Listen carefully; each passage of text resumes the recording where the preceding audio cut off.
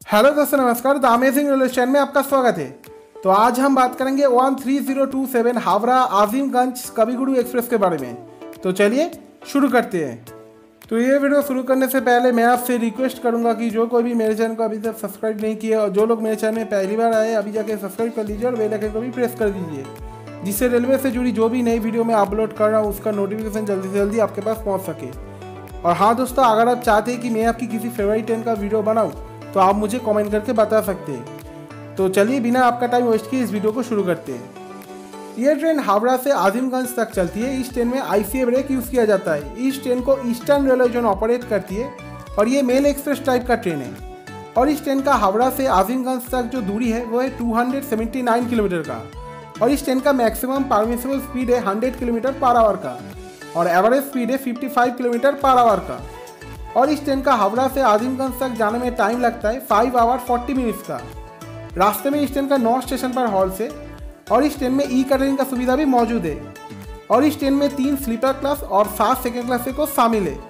और इस ट्रेन का हावड़ा से आजिमगंज तक जाने में जो कॉस्ट है, वो स्लीपर क्लास का one hundred ninety five rupees जिसमें बेस फेयर चार्ज और रिजर्वेशन चार्ज शामिल होता है।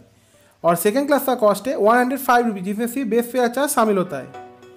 तो चलिए इस ट्रेन के टाइम टेबल के बारे में जान लेते हैं। ये ट्रेन हफ़्ते में सातों दिन, हावड़ा से रात के दस बज के चालीस मिनट पर एक नंबर प्लेटफॉर्म से छोड़ता है। और इस ट्रेन का जो पहला हॉल्ट है, वो है बैंडेल जंक्शन यहाँ पर ये ग्यारह बज के अट्ठाईस मिनट पर आता है और ग्यारह बज के तीस मिनट पर चलो इसका दो मिनट का स्टॉप है। इसके बाद बर्धमान जंक्शन यहाँ पर ये रात के बारह बज के अड़तीस मिनट पर आता है और बारह बज के चालीस मिनट पर चलो इसका दो मिनट का स्टॉप है। इसके बाद बोलपुर शांति निकेतन यहाँ पर ये एक बज के छब्बीस मिनट पर आता है और एक बज के अट्ठाईस मिनट पर चलो इसका दो मिनट का स्टॉप है। इसके बाद आमदपुर जंक्शन यहाँ पर एक बज के सैंतालीस मिनट पर आता है और एक बज के अड़तालीस मिनट पर चलता है इसका एक मिनट का स्टॉप है। इसके बाद सैतिया जंक्शन यहाँ पर ये एक बज के उनसठ मिनट पर आता है और रात के दो बज के एक मिनट पर चलता इसका दो मिनट का स्टॉप है। इसके बाद रामपुर हाट जंक्शन यहाँ पर ये दो बज के सैंतीस मिनट पर आता है और दो बज के उनचालीस मिनट पर चलता इसका दो मिनट का स्टॉप है। इसके बाद नालहाटी जंक्शन यहाँ पर ये दो बज के अठावन मिनट पर आता है और तीन बजे चलता है इसका दो मिनट का स्टॉप है।